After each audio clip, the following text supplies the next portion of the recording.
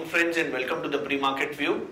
Uh, yesterday we had seen that uh, US as well as European indices were tra- trading flat to negative uh, ahead of the all-important non-farm payrolls data uh, which is likely to be announced in US today. So and Asian markets uh, coming over to Asian markets, Asian markets are also trading uh, flat to negative. we have Hang Seng around down around 1%, whereas Nikkei is around 0.7% down. Uh, uh, this all is uh, nervousness ahead of the non-farm payrolls data, which is in US today, and it is likely to be coming in weak, as we had seen that the ADP employment numbers, which were announced on Wednesday, uh, were a bit negative. So markets are uh, keeping its fingers crossed ahead of this today's all-important non-farm payrolls. And uh, coming over to the Indian markets, Indian markets had seen uh, wild swings yesterday. We had seen some positives, and uh, markets were uh, had bounced from its three weeks low, but uh, could not uh, hold on to the gains and had pared off the gains and closed around 20-25 points out or up. And we are tracking the Asian markets, which are currently trading negative. SGX is also just suggesting that we are li likely to open around 40 points down. So uh, I'll hand it over to my derivative expert for our derivative comments.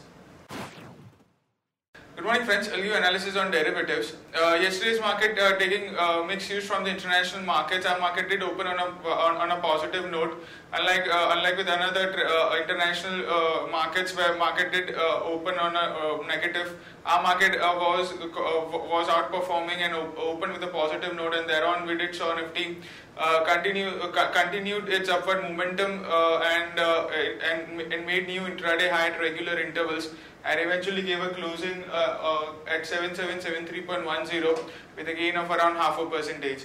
On the open interest terms, uh, yet another trading session where we have seen a uh, reduction of open interest that is at around 4.5 percentage was shaded in open interest in the absolute terms, around 9.20 uh, 20 lakh shares were shared in open interest. Cost of carry increased significantly from 5.5 percentage to 8.5 percentage. That is, Nifty premium did came up significantly from anywhere around 20, uh, 25, 26 odd points uh, to currently 38, 39 odd points. Uh, put call ratio was more or less same at 0.82 odd levels and volatility index uh, cooled off uh, a bit. Um, it cooled off by uh, by around uh, one and a half odd percentage from 17.45 to 17.17 odd levels. On the options activity, uh, we are being now seeing some kind of an uh, reduced inter reduced interest in the um, call option. That is, there are not a lot of open interest getting built up in call option, which is a positive sign where market participants are not now not shorting shorting call options of the higher levels. 7,800 call option uh, have seen an addition of around 7.5 odd percentage. The highest addition was seen in 7,900 call option of around 18 odd percentage, while 8,000 call option have seen a reduction in open interest of around 3.5 odd percentage. While in put option, uh, again, not much of activity. So on and on the options, uh, we are uh, uh, we haven't seen much of the activity in yesterday's trading session. Uh, put option, of the highest put base of 7,700 strike price continues to add uh, in terms of open interest of around 7 7.5 percentage due to which market did took uh, support around that level and continuously it's higher in yesterday's trade. While 7800 strike price have seen a reduction of 2 percentage while 7600 put option have seen an addition of 9 percentage only. All in all in today's trading session also the our main focus would be on the activity of 7700 put option.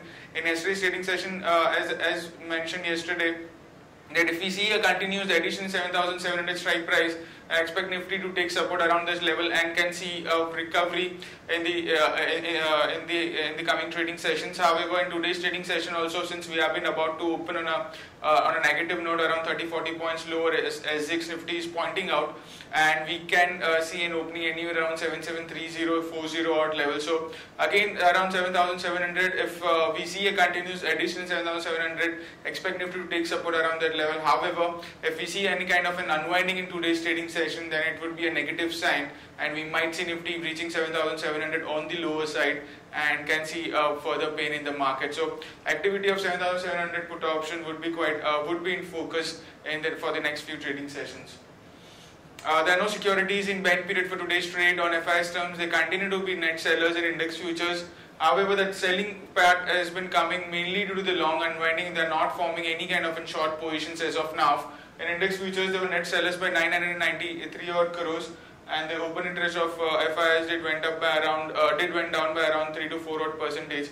Index options net bias by 1,007 odd crores. Uh, stock futures net bias by 102 odd crores, while stock options net sellers by 23 crores only. Uh, the market level of IDs VWAP stands now at 7,800 uh, with a lower range at 7,700, which is the highest put base, and higher range at 7,800. SGX Nifty is trading negative, it's down by 43 odd points and quoting anywhere around 7723 indicating some kind of a negative to gap down opening can be expected in the morning trade.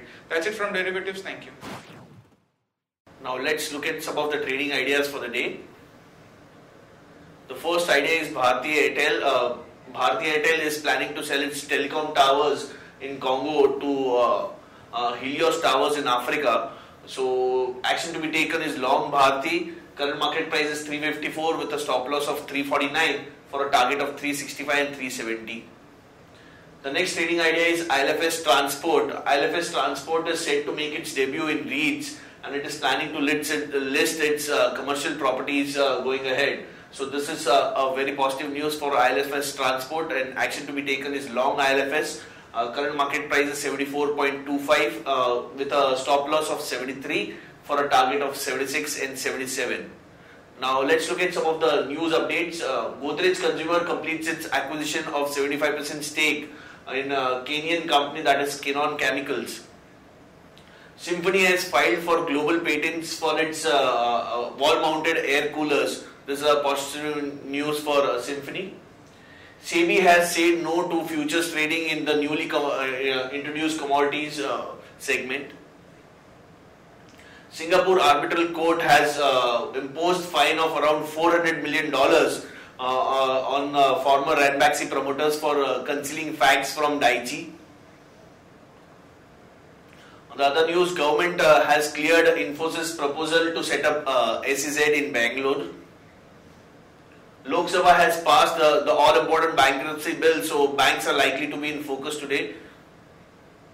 Syndicate Bank has allotted 9.5 crore equity shares uh, on a preferential basis to the government at a price of around 77.79. And NTPC has raised around 1000 crores uh, via issue of secured uh, NCDs. The other news, uh, L&T, uh, the, the, promoters of L&T General Insurance are in talks uh, for a merger with HDFC Ergo. One Alliance Insurance has selected Majesco as its uh, strategic uh, enterprise plat platform. Indian Hotels has uh, agreed for a scheme of arrangement in uh, with uh, lands and properties that has been approved. Wipro gets order from Thames Water for billing and customer solutions. So Wipro is likely to be in focus today. And on the results update, we have Emami reporting its Q4 numbers. Consolidated net profit was down around 45 percent uh, at around 75.9 crore uh, and versus uh, 138.3 crores YOY. Castrol reported PAT of around 172 crores versus 147 crores last year ago.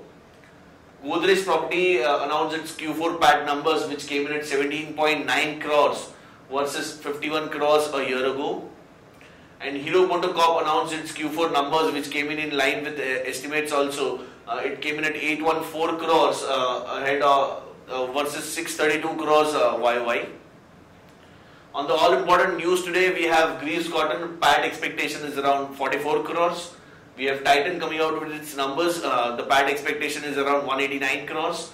And Siemens is likely to announce numbers today with a PAT expectation of around 707.7 crores.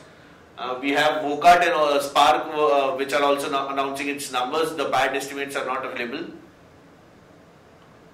On the watch list front, stocks with positive bias are Bata, SRF, and Castrol. And stocks with negative bias, uh, we think uh, Hexaware could be under pressure today. On the stocks for investment, uh, we like Axis Bank, Britannia, MEL, Infosys, and Torrent Pharma. That's it, friends, from all of us. Thanks and have a nice trading session.